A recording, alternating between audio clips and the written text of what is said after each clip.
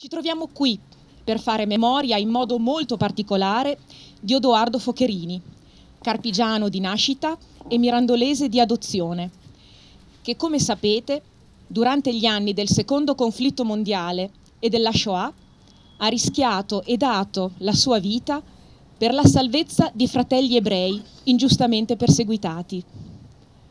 Questa giornata la dedichiamo a lui, alla sua vita, e a ciò che ancora insegna per la nostra quotidianità.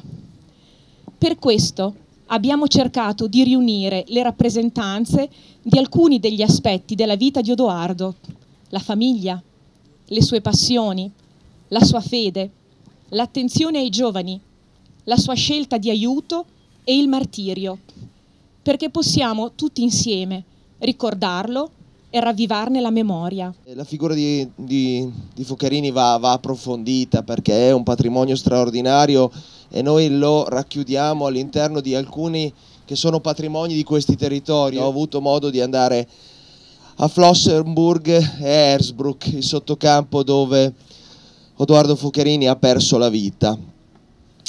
Erzbruck non esiste più, Erzbruck è un parcheggio e di fianco c'è un, una spa di quelle dove si va a fare i massaggi e i bagni caldi e non si capisce più niente, non si capisce che lì c'era un campo che era un campo di lavoro forzato che portava allo sterminio e io ho provato assieme a tutti i carpigiani che erano con me in quel momento, carpigiani non solo, eravamo un pullman di area nord diciamo così, una tristezza incredibile perché cancellare la memoria è uno dei torti più grossi che si possano fare.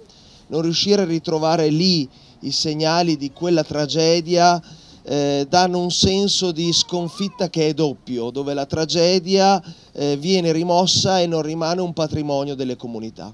Bene, allora penso che una pietra d'inciampo non sostituisca, per carità, il fatto che la Esbrook non è più visibile, però quella pietra d'inciampo lì è un mattoncino che fa in modo che qualcuno si ricordi che Erzbruck c'è stata e secondo me questo è molto importante.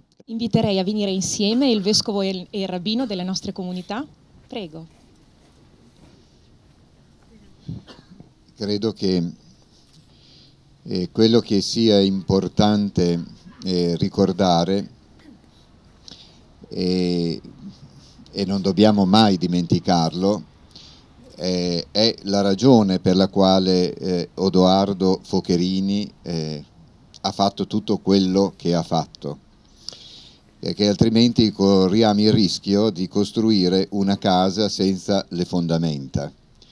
E Edoardo Focherini ha fatto tutto quello che ha fatto eh, per il bene eh, dei fratelli, per il bene dell'umanità, perché era un cristiano, un cristiano tutto d'un pezzo che viveva in maniera seria, coerente, impegnata il Vangelo. Eh, ecco, allora questa pietra d'inciampo eh, è una pietra d'inciampo che è il frutto eh, proprio del cristianesimo, della fede ecco, che eh, Odoardo ha vissuto.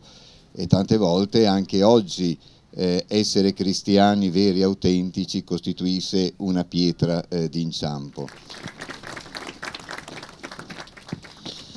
Leggeremo assieme in memoria di Odoardo Focherini Zichrono Ivrachà, sia il suo ricordo di benedizione, il primo capitolo dei Salmi. Beato l'uomo che non ha seguito i consigli dei malvagi, che non è rimasto sulla strada dei peccatori, né si è seduto in compagnia di chi deride ogni cosa.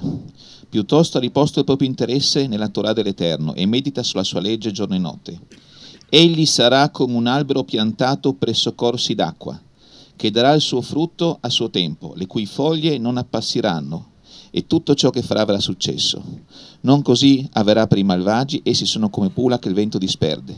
Perciò non riusciranno a scagionarsi i malvagi nel giudizio e i peccatori non saranno inclusi nell'assemblea dei giusti, perché l'Eterno conosce e apprezza il comportamento dei giusti e sa che il comportamento dei malvagi conduce alla rovina. Grazie. Ci raduniamo intorno alla pietra d'inciampo, la prima in provincia di Modena.